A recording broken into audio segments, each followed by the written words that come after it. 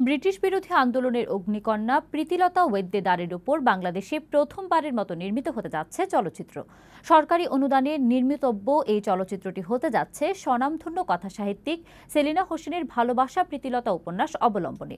বৃহস্পতিবার অগ্নিকন্যা প্রীতিলতার আটাশিতম আত্মাহুতি দিবসে অনুষ্ঠিত হল চলচ্চিত্রটির মহরত। উদ্বোধন করেন তথ্যমন্ত্রী হাসান মাহমুদ। ফারহানা চুথির প্রতিবেদন।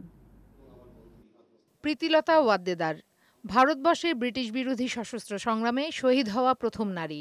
চট্টগ্রামের এই বিপ্লবীর জীবন ও বীরত্ব গাথা নিয়ে বাংলাদেশে নির্মিত হতে যাচ্ছে চলচ্চিত্র। চিত্রনাট্য নির্মাণ করা হয়েছে কথাসাহিত্যিক সেলিনা হোসেনের উপন্যাস ভালোবাসা প্রীতিলতা অবলম্বনে। এই বিপ্লবীর আটাশিতম আত্মাহুতি দিবস উপলক্ষে তার প্রতি শ্রদ্ধা জানিয়ে বৃহস্পতিবার এই চলচ্চিত্রের মহরত অনুষ্ঠানের আয়োজন করা হয়। আমরা আমাদের চিত্রপটে উনিশশো দশককে নিয়ে আসতে চাই। কথাসাহিত্যিক সেলিনা হোসেন আশা প্রকাশ করেন চলচ্চিত্রে যেন সঠিক ইতিহাস উঠে আসে।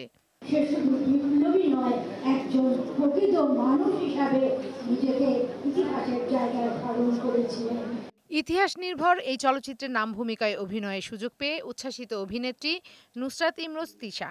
অন্য শিল্পীরাও জানালেন তাদের সেরাটা উপহার দিতে চান। ভাষায় প্রকাশ করতে পারব না কতটা ভালো লেগেছে। মহরতের উদ্বোধন করে তথ্যমন্ত্রী হাসান মাহমুদ প্রীতিলতা ওয়াদ্দেদারের সাহসী জীবনের নানান দিক তুলে ধরেন। বলেন এই চলচ্চিত্র দেশের গণ্ডি ছাড়িয়ে আন্তর্জাতিক পরিমণ্ডলে বাঙালির গৌরবের ইতিহাস পৌঁছে দেবে।